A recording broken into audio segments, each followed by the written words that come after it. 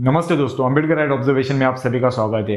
अक्सर हमारे देश में जातिगत आधार पर आरक्षण को विरोध किया जाता है और उनका कहना होता है कि आरक्षण या आर्थिक आधार पर होना चाहिए। मतलब जो गरीब है, उसको आरक्षण देना चाहिए। हमारे देश में आरक्षण हटाओ की मांग तो होती आई है बट हमारे देश में जाति को हटाओ, ये मांग कभी नहीं हुई है। और जिन लोगों ने ये मांग की है, उन्हीं को आप लोग जातिवादी कहकर पुकारते हो।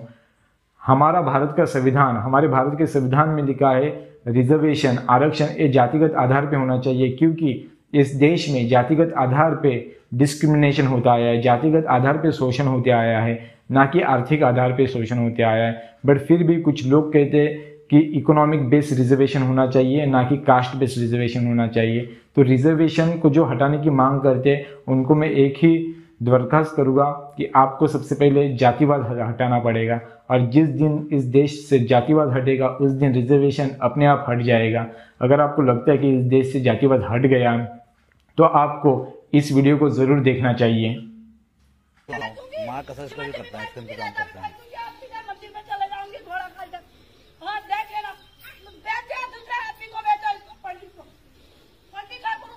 तुम लगी बुलाओ ना यहाँ पे लगी फंसा जाएगा अभी।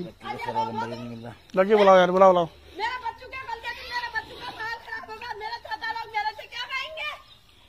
ये चाचा लोग क्या खाएँगे मेरे कल नरिया वो पेड़ लगा था नरिया को भगाया मैंने यहाँ से स्टार से स्टार में कोई सबूत होता है कोई? कौन है कौन है कौन है यार ये? अरे पता है बोले दो ना इसको। है? क्या कहेंगे कल नाम नहीं तभी नाम नहीं बताया जेल क्या होता है? मैं बताती हूँ अभी तुमको रुको। तुम जाओ जाओ काम करो अपना। आया मैं रहा बताती हूँ जेल समाचार का मैं कल तुम्हारी हिम्मत नहीं है ये काम का ये रोकने का समाचार हमारी का सामान मैं उसको डालने नहीं दूँगी कल कभी नाम नहीं बता रहा दादू तुम्हारी हिम्मत नहीं है। मेरे से क्यों नहीं पूछा? बार ज़मीन। खरीदी खरीदी मेरे से क्यों नहीं पूछा? यहाँ पर दीदी आर्या लोग है या हरी पंडित ठाकुर पैसे दिए हैं पैसे? देखा सीधा बोल दूँगी मैं तेरा जाते हैं नहीं तू यहाँ। फोड़ दे रहा है? फोड़ तो फोड़ तो फोड़ तो। हो नहीं तुम यहाँ से। सीधा फोड़ सीधा फोड़ तुम जाते हो नहीं? फोड़ो फोड़ो।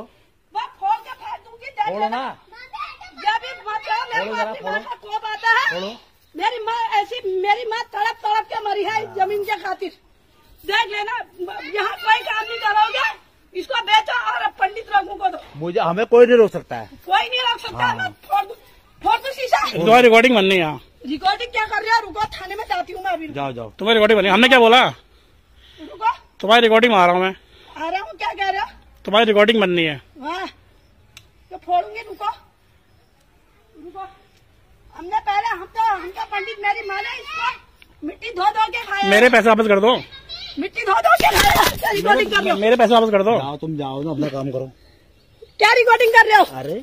मैं मार दूँगी। अरे क्या है? तुम्हारा चक्कर ये बताओ। मेरे को यहाँ पर माहौल अच्छा नहीं लगता हरिजन के सामने। तुम कुछ बोलो अभी चल जाएगा बता। हरिजन के सामने माहौल अच्छा नहीं लगता यहाँ पर मेरा सब इस्तर मित्र लोग आते हैं। चल जाएगा पता चल जाएगा। हैं?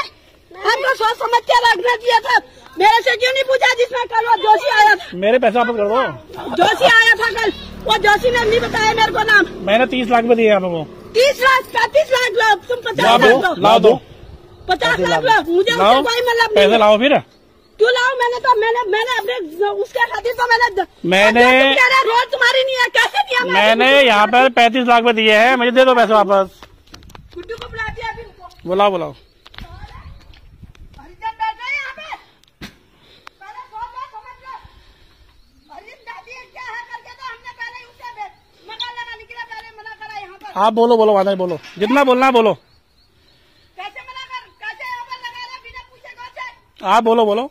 हरिजन बैठ रहे हैं यहाँ पर आपको चल जाएगा पता हरिजन क्या होता करके। में जाती जाओ जाओ। कोई नहीं रोक सकता जो लोग कहते हैं इकोनॉमिक बेस रिजर्वेशन होना चाहिए। उन लोगों को ये वीडियो ज़रूर देखना चाहिए, क्योंकि भेदभाव ये जातिगत आधार पे हुआ था, ना कि आर्थिक आधार पे।